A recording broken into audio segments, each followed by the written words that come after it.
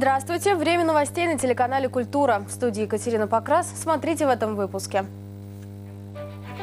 Восточная поэзия и русская музыка составили композицию «Фархат и Ширин». Она прозвучала в исполнении актеров театра и кино и симфонического оркестра Владимира Федосеева. Импровизированный концерт в захваченном зале «Шансония». Сюжет картины «Париж-36». В мировой прокат выходит драма режиссера Кристофа Баратье с участием Пьера Ришара. Сказки короля, короля балета в Москве. Жемчужина коллекции Августа Бурнанвиля «Балет Неаполь» появится сегодня в театральной афише столицы.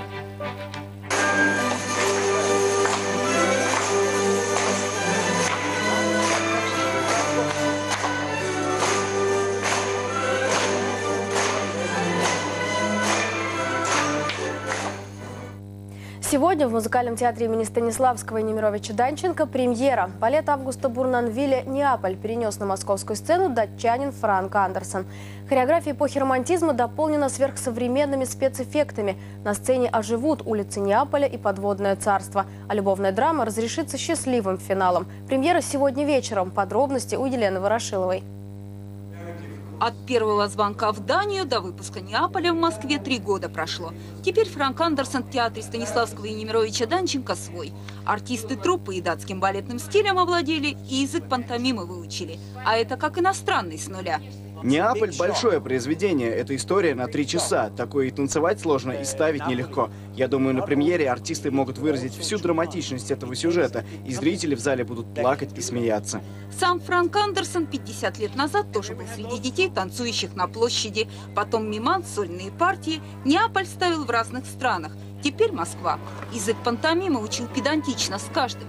Теперь артисты и жест, и взгляд ловят на ходу. Здесь надо сделать так, чтобы это не только было горячее, что там, чтобы оно еще было и вкусное. Неаполь Бурнанвиля в Дании, как Лебединое озеро в России, национальное и культурное достояние. Спектакль больше 150 лет в репертуаре датского королевского балета. Сам Бурнанвиль умел не только танцы поставить, но и придумать историю.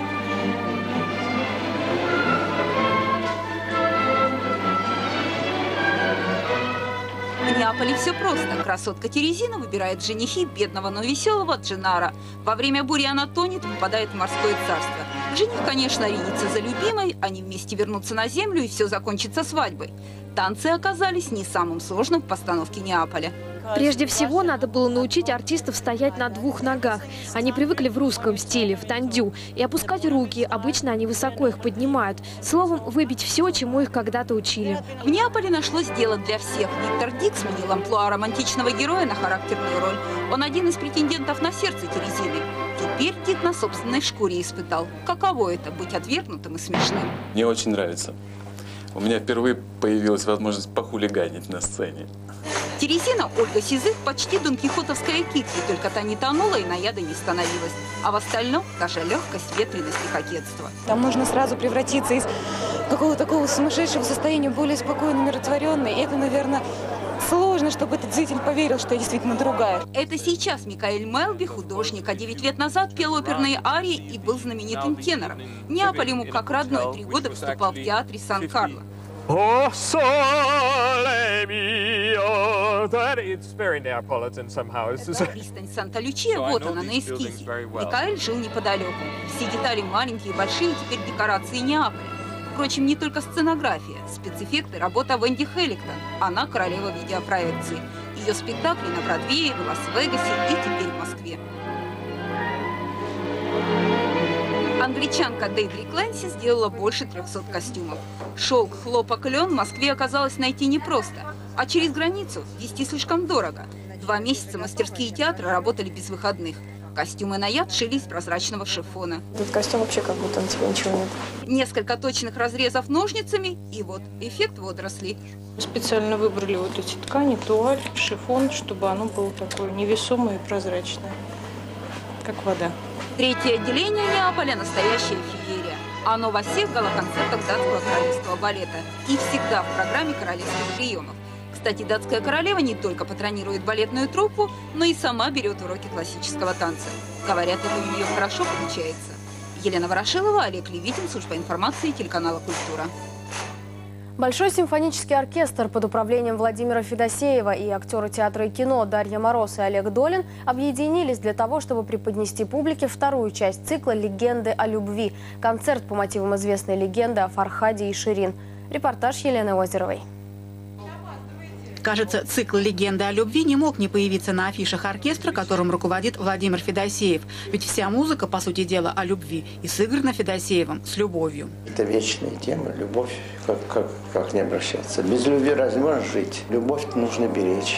Без любви там человек гол, Одна из самых печальных легенд о любви, Фархат и Ширин, породила немало поэтических произведений и ни одной оперы или балета. Для Владимира Федосеева это был повод обратить взгляд на восточную музыку. Музыку очень сложно подбирать, мы, поскольку это вообще тема, как бы она за, была забыта, вообще Восток. Мы забыли, мы не знаем ни композиторов, ни ничего. И вот я решил восстановить, то есть опять вспомнить, что мы всегда были неразрывно связаны с поэзией восточной, с музыкой восточной. Владимир Федосеев напомнил и прекрасные мелодии композиторов Востока, Меликова, Каракараева, Ниези, и восточные мотивы русских композиторов – Римского, Корсакова, Мусорского.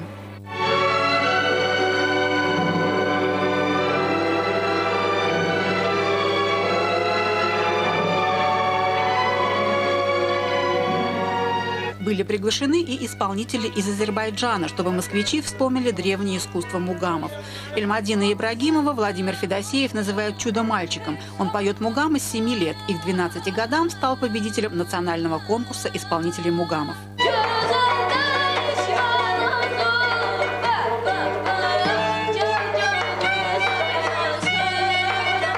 И, конечно, любовь в этот вечер воспевала не только музыка, но и поэтическое слово. Но вот что чудесно. В тот миг, как мы были вдвоем, мы были в Ираке один, в Харасане другой, ты и я. Елена Озерова, Владимир Полунин, служба информации телеканала «Культура». Британский журнал The Bookseller опубликовал результаты конкурса на самый странный книжный заголовок. Победило издание под названием «Перспективы 60-миллиграммовых упаковок для творога на 2009-2014 годы». Конкуренцию составили такие книги, как «Метафизика бабуина» и «Большое решето и его применение». Выбрать лучшего из лучших в этом году было сложнее обычного, так как автор книги «Победителя» по сути ее автором не является. Профессор Филипп Паркер разработал программу, которая создает узкоспециальные книги на основе обработки баз данных и запросов поиска. Таким способом Паркер уже числится автором более двух сотен книг. Другие сообщения с карты мира в обзоре Игоря Рябцева. Стихи Иоанна Павла II вдохновили на написание песен одного из известнейших певцов планеты. Пласидо Доминго выпускает альбом, основанный на поэзии понтифика. Эта идея пришла ему в голову после концерта в Ватикане. Он подошел к папе и попросил того лично выбрать несколько произведений, которые можно было бы положить на музыку. Новый альбом получил название «Амора инфинито» – «Бесконечная любовь». Для создания пластинки Доминго пригласил известнейших мировых исполнителей Андреа Бачелли, Джоша Гробана и Ванессу Уильямс. А мелодии к некоторым композициям написал сын певца Пласида-младший. Музыкальное сопровождение обеспечил Лондонский симфонический оркестр, которым руководил известный аргентинский дирижер Хорхе Каландрелли. До ближайшей церемонии вручения «Оскара» почти год, а критики уже назвали одного из наиболее вероятных номинантов на получение премии. Это лента «Париж-36». Музыкальную драму французского режиссера Кристофа Барати о Париже 30-х годов прошлого века окрестили смесью «Амели» и «Мулен Руж». Картина уже была показана на нескольких фестивалях и, наконец, выходит в прокат. В главных ролях снялись мэтры Пьер Ришар и Жерар Жуньо, а также молодые таланты, такие как Нора Арнезедер. Мне пришлось пойти в книжный магазин и прочитать о том, как жили женщины в то время, как одевались и даже как ходили. В центре сюжета выдуманный парижский концертный зал «Шансония». Молодая певица и двое других артистов решают захватить театр, чтобы устроить там импровизированный концерт. Их цель – вселить надежду в жителей города, охваченного предвоенной депрессией. А в Испании к выходу на экраны готовится анимационный мюзикл. Обладатель Оскара Фернандо Труэба и известный художник Хавьер Марискаль объединились для работы над мультипликационной картиной, которой они надеются покорить сердца зрителей. Новая лента называется «Чико и Рита». Ее действие происходит на Кубе в 40-х годах прошлого века. Это история любви пианиста и певицы, которые становятся звездами джаза. Музыку к фильму написал сам режиссер Фернандо Труэба. Игорь Рябцев, служба информации телеканала «Культура». За шесть патриот- патриотических карикатур в виде альбома литографий на нынешнюю войну Петр Баклевский получил бриллиантовый перстень от императора Александра II. Сегодня некогда популярные рисунки – музейная редкость. В Омском музее изобразительных искусств имени Врубеля хранится альбом галерея гоголевских типов из 14 литографированных рисунков Баклевского к ревизору. Из Омска сообщают наши корреспонденты. 100 тысяч рублей в 1905 году пожертвовали власти губернского города Омск на электрическое освещение Гоголевского ревизора. С этой постановки началась история знаменитой омской драмы. Актерский состав нового городского театра тогда оправдал надежды режиссера. Первый омский ревизор публикой и критиками был принят. Спустя три десятилетия ревизор в постановке режиссера тогда уже Государственного синтетического театра Владимира Торского был разгромлен на страницах омской печати. Первая волна репрессий. Бригада наркомпроса вынесла вердикт. Формализм. И за формализм, значит, вот Торского и били. И вот, значит, э, э, такой донос Леонов осуществил, и через, э, буквально через полгода театр прикрыли. Но несмотря на социалистические коллизии, социальный фольклор ревизора по-прежнему вдохновлял режиссеров.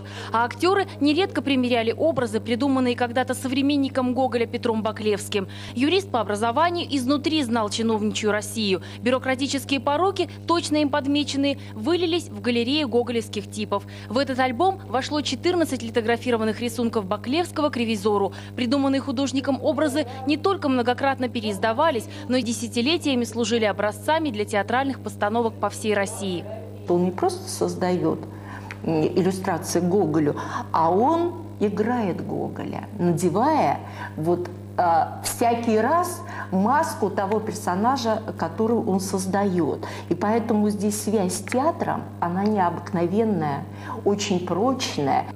В послевоенные годы академик Евгений Лавренко приобрел эти графические листы в Ленинградской писательской лавке. Спустя четыре десятилетия он передал работы в дар Омскому музею. Реставратор Светлана Румянцева вернула литографии Баклевского к жизни. С этой работы в Омске началась профессиональная деятельность реставраторов графики. Рецепты, примененные более двух десятилетий назад, доказали свою состоятельность. Динара Шамес, Станислав Илюженич, служба информации телеканала «Культура», Омск.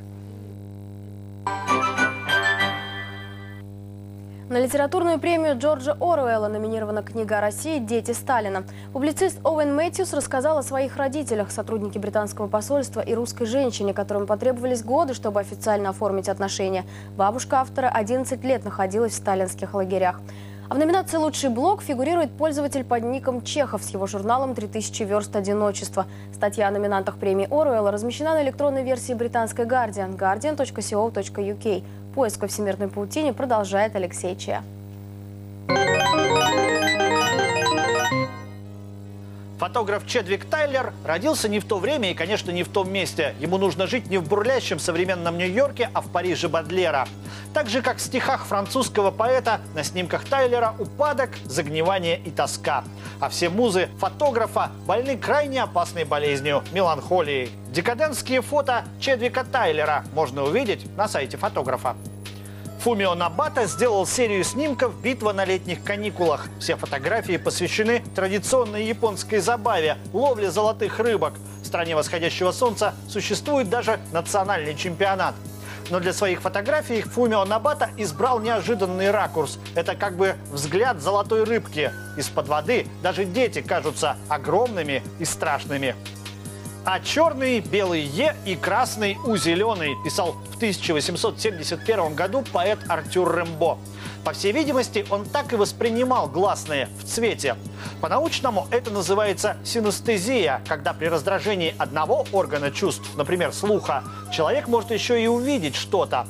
Медиахудожник Сергей Коцун создал сетевой проект «Синестезиограф». Нужно ввести текст, и программа представит его в виде разноцветных кругов. Вот какие цвета можно услышать в слове «загрузка». Студент Йоркского университета Вилл Трибл и его однокурсники сняли кавер-версию фильма «Убить Билла». Все перипетии четырехчасовой ленты Квентина Тарантино уместились в одну минуту. Этого времени вполне достаточно, чтобы отомстить многочисленным врагам. Кстати, начинающий режиссер снял еще и кавер фильма «Форест Гам». Все показано очень подробно, за одну минуту. Все ссылки на новости культуры из всемирной паутины вы найдете на сайте телеканала «Культура». Всего доброго, не потеряйтесь в сети.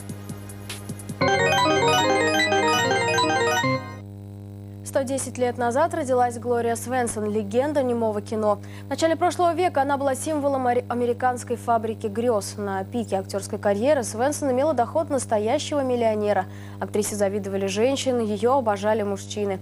Она основала свой дом моды, пропагандировала вегетарианство и йогу. В 1968-м Глория Свенсон посетила Советский Союз.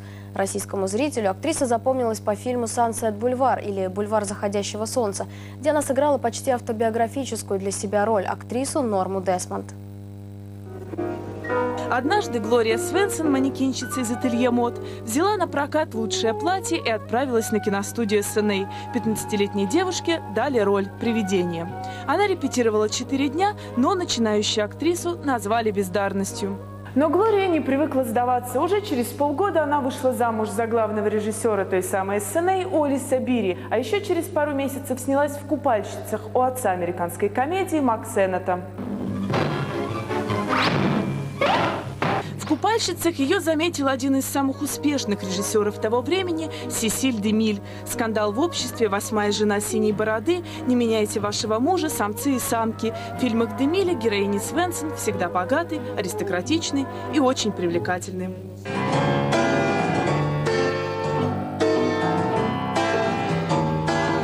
Многом ее женщины были не женщинами начала 20 века, а, наверное, ближе к нашим современницам, потому что очень часто это были красивые, уверенные, самодостаточные женщины, которые знали, чего они хотят в жизни. В начале 1920-х газетчики обзывают Свенсон вешалкой для платья и разодетой лошадью. Но мнение критиков обычную публику совсем не интересует. Шикарная Глория популярна как никогда. Ее гонорары исчисляются миллионами долларов много раз была замужем за богатыми людьми, всегда была в потрясающем особняке. У нее был знаменитый эскалатор, сделанный из хрусталя, который парфюмировали вапоризатором Шанель номер пять для того, чтобы подниматься на второй этаж. Бесконечные подушки, куклы. Она утопала в роскоши ар-деко. Успеху Свенсон завидует сам Демиль и клянется, что больше никогда не будет ее снимать. Тогда непобедимая Глория меняет амплуа. Теперь она женщина-вамп. «Сегодня ночью или никогда», «Правонарушительницы», «Неблагоразумные». Режиссеры, с которыми работает Свенсон, не так известны, как Демиль. Зато звезда может ставить им свои условия и играть, как захочет. Ее новые героини ищут острых ощущений и опасно играют с жизнью. Было время, когда глаза всего мира были прикованы к фильмам, но им этого было мало. Им нужно было, чтобы уши были прикованы тоже. Поэтому они открыли свои огромные рты и начали говорить, говорить, говорить. Под словами Нормы Десмонд из фильма «Сансет Бульвар» могли бы подписаться все актрисы немого кино. Для Глории Свенсон приход звука не стал трагедией. У актрисы был приятный голос, она неплохо пела. Тем не менее, ее успешные роли в звуковом кино можно пересчитать по пальцам. Мы снимем еще одну картину, еще одну, еще. Понимаете, это же моя жизнь. За роль безумной актрисы немого кино в «Сансет-бульваре» Свенсон была номинирована на «Оскар», но страстная дама с выбеленными лицами, темными глазами и эксцентричными жестами выходит из моды. В 60-х актриса много снимается для телевидения, играет в театре. В это время дом моды Глория Свенсон начинает выпускать одежду для тех, кому за 60.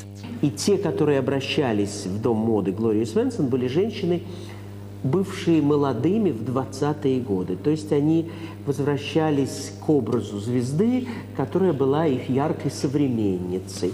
На Голливудской аллее славы находятся сразу две звезды Глории Свенсон за достижения в кино и на телевидении. А для множества поклонников великая актриса великой эпохи навсегда осталась олицетворением женской привлекательности. Мария Федорова, Валерий Жиглей, Андрей Тарасенко. Служба информации телеканала «Культура». Наш выпуск завершен. Мы продолжаем следить за событиями. Я же с вами прощаюсь. Всего доброго и до встречи.